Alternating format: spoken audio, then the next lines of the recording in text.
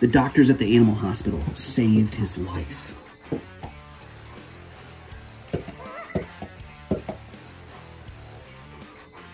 I was so glad he was going to be okay, but I didn't know if he would be, well, I'm sorry. I was so glad he was going to be okay, but I didn't know if he would be well enough to go back to work with me. But he got better every day.